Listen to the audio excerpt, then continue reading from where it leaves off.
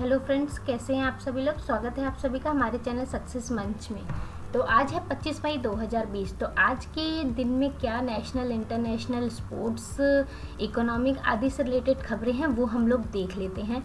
और खबरें बहुत ही अहम हिस्सा होता है किसी भी एग्ज़ाम को क्रैक करने का बट बहुत सारी एक दिन में न्यूज़ आती हैं तो हमें कौन सी इंपॉर्टेंट न्यूज़ पढ़नी है और कौन सी छोड़नी है? सबसे बड़ा यही होता है कि पढ़ने के लिए तो बहुत सारी चीज़ें होती हैं बट हमें क्या पढ़ना है और क्या नहीं पढ़ना, इसको ज़रूरी ध्यान में रखना होता है जब भी हम कोई एग्ज़ाम देने जाते हैं तो। तो चलिए, इसी सीरीज़ को आगे बढ़ाते हुए मैं इंपॉर्टेंट करंट अफेयर लाई हूँ जो कि आपके एग्ज़ाम के पॉइंट ऑफ़ व्यू से बहुत इंपॉर्टेंट है। एक्स्ट्रा कोई भी न्यूज़ इसमें नहीं ऐड की गई है। तो आज का करंट अफेयर शुरू करते हैं हम लोग। उससे पहले हमारी मेंस की सीरीज़ शुरू हो चुकी है। जीएस पेपर वन का मेंस का मैं टॉपिक कंप्लीट करवा रही हूँ। आज हो सकेगा तो गुप्त काल के जो कला के स्वरूप हैं, वो मैं कंप्लीट करूँगी वहाँ पर।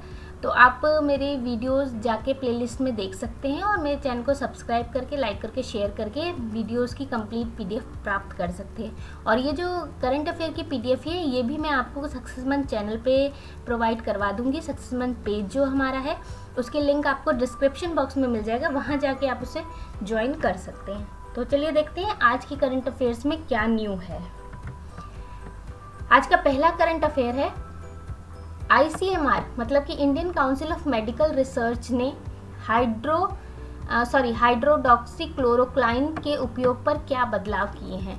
तो क्या इन्होंने चेंजेस किए हैं इसको खरीदने के लिए? तो हाइड्रोक्सी क्लोरोक्लाइन ये जो गोली होती है, ये मलेरिया के लिए यूज़ की जाती है और कोविड 19 में भी इसका यूज़ किया जा रहा है।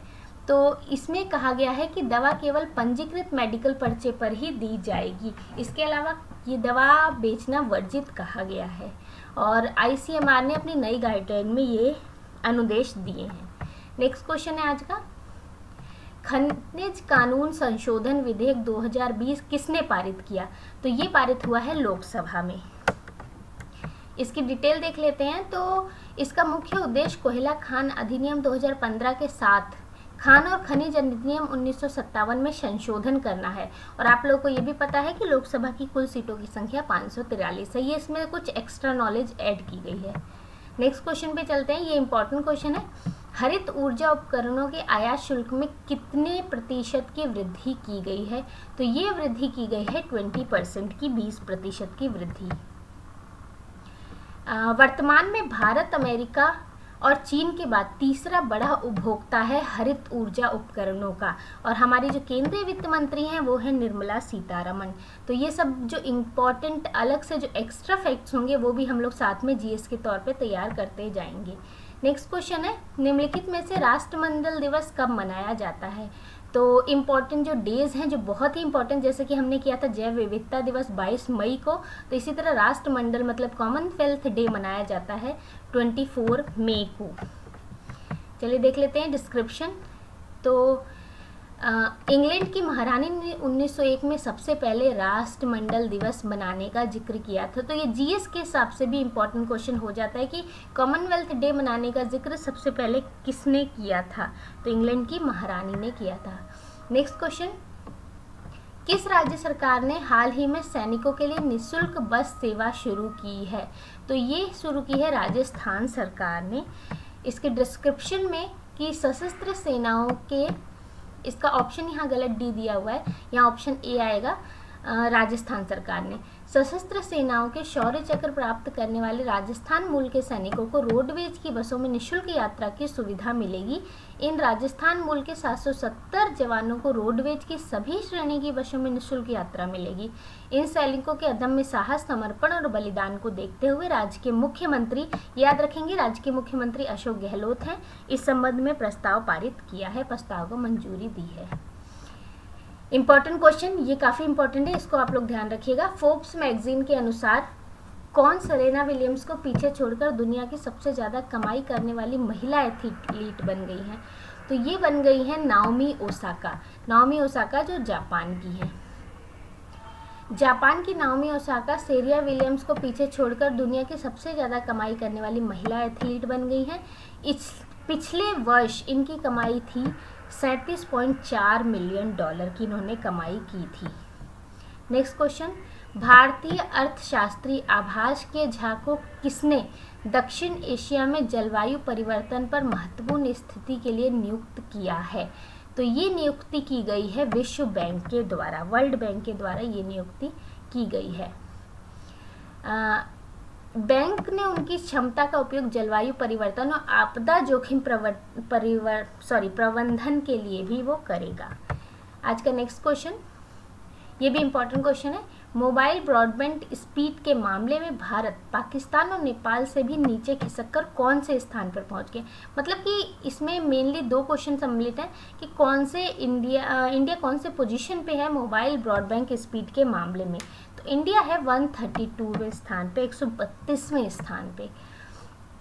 तो उकला स्पीड टेस्ट एक एजेंसी है, उन्होंने किया, उन्होंने रिपोर्ट दी कि भारत जो है पाकिस्तान और नेपाल से भी नीचे खिसक कर एक स्थान पर पहुँच गया है। इस लिस्ट में पहले स्थान पर 88.01 एमबीपीएस की सबसे अधिक स्पीड के साथ दक्षिण कोरिया सबसे पहले स्थान पे है। तो फ़र्स्ट पोजीशन भी आप लोग को ध्यान रखनी होगी कि इंडिया की पोजीशन है वन थर्टी टू और दक्षिण कोरिया की जो पोजीशन है, वो है फ़र्स्ट नेक्स्ट दुनिया में पीपीई किट पीपीई किट का फुल फॉर्म होता है पर्सनल पोर्टेबल इक्विपमेंट किट तो ये आप ध्यान रखेंगे पर्सनल पोर्टेबल इक्विपमेंट किट जो कि डॉक्टर पहनते हैं, जो हमारे सफ़ाई कर्मचारी हैं कोविड नाइन्टीन से बचने के लिए किट पहनते हैं, जिसमें ग्लव्स आते हैं, जिसमें शूज़ आते हैं, ऊपर का कवर आता है, जो आपने टीवी में काफ़ी देखा होगा नर्सेज को पहनते हुए डॉक्टरों को तो वही होती है पीपी किट ई किट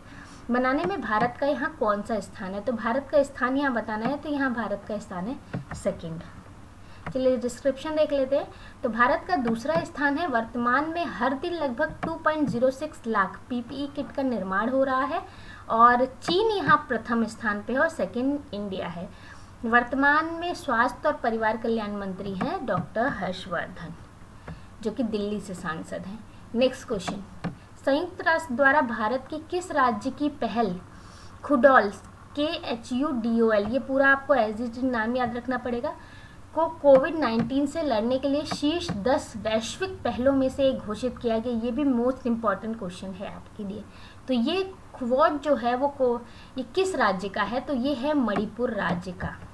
इसका डिस्क्रिप्शन देख लेते हैं। तो खुवॉड एक एनजीओ की पहल है। एनजीओ का नाम है या ऑल। ये एनजीओ का नाम है। और इसके तहत एलजीबीटीक्यू समुदाय के लोगों दैनिक वेतन भोगी जो होते हैं और एड्स से प्रभावित लोगों को भोजन, स्वच्छता और स्वास्थ्य सुविधाएँ प्रदान की गई हैं। तो इस योजना के तहत और मणिपुर जो है वो ट्रांसजेंडर समुदाय के लिए एक समावेशी सुरक्षित स्थान भी बन रहा है धीरे धीरे इस श्रेणी में आगे बढ़ रहा है।